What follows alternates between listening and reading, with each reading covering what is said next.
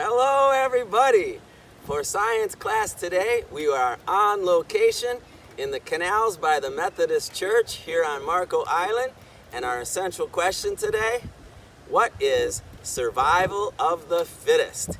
Survival of the fittest means adapt or die.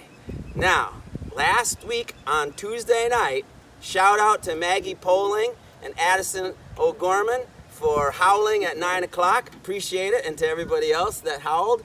Uh, 9 o'clock on Tuesday night was a super moon, the biggest super moon of the year. And today we're here on this location because we're experiencing a king tide, which corresponds to that super moon. A king tide means an exaggerated higher tide than normal. And so we're here at this seawall and we're going to measure how much more space there is. It looks like there is less than six inches before this seawall gets breached. now, this is going to become more and more of a, a situation due to climate change and rising sea levels because of the increased levels of carbon dioxide, warmer temperatures, more melting ice, rising sea levels. We're going to have to get used to this. So, uh, that climate change can, in fact, be a limiting factor that leads to extinction.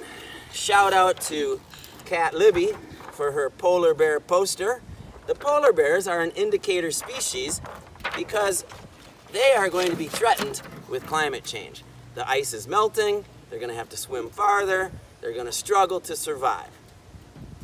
Uh, adaptations, as you learned by your readings last week, come from genes.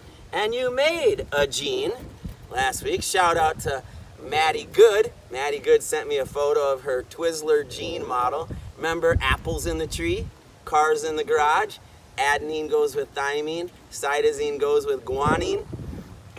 Oh, indeed. And after you make your model,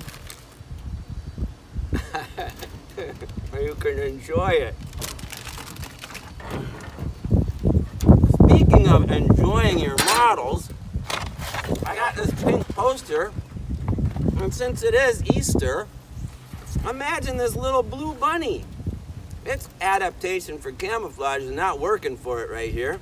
So this poor little bunny, its adaptations are going to lead to its death.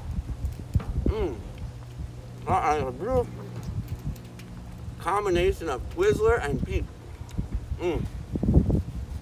Now, these genes are what inevitably led to the dinosaurs' extinction.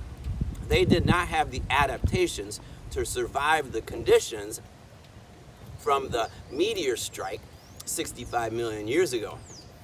And they all died out. Not so fast. This week's lesson, you're going to learn that it is believed now with scientific investigations and evidence, some of the dinosaurs survived. The little ones with feathers, they evolved into birds. Now, of course, there's more to this story, but here's what I want you to consider. In addition to eating Twizzlers and Peeps and Froot Loops, please go enjoy some Kentucky Fried Dinosaur. Indeed, it is believed that modern day birds are just descendants of earlier dinosaurs. So, let's see. Hmm. You me, Twizzler, Peep, and Kentucky Fried Dinosaur. Mmm, that was the best tasting dinosaur I've ever had. So, have a happy Easter. Now, back to more important things. Let's see if everything goes okay. We'll have a little dinner, a little fish dinner. Have a great day. Happy Easter.